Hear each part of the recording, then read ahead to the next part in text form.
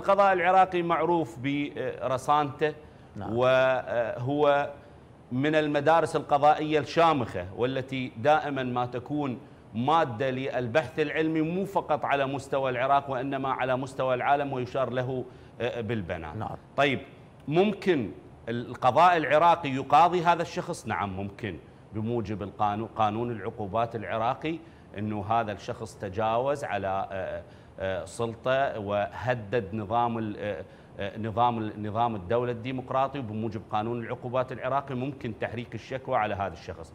ولكن هذه الدعوة هي من الدعاوى الإذنية تسمى التي تحتاج إذن من رئيس السلطة القضائية من رئيس مجلس القضاء الأعلى ذاته يعني.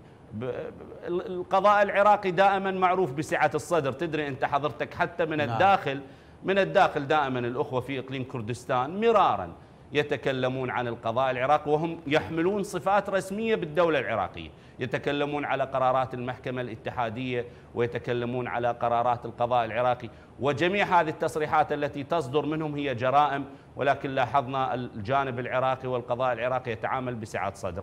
أعتقد خطوة تحريك, ش... تحريك الشكوى على هذا الشخص وإعطاء الإذن من قبل رئيس مجلس القضاء الأعلى.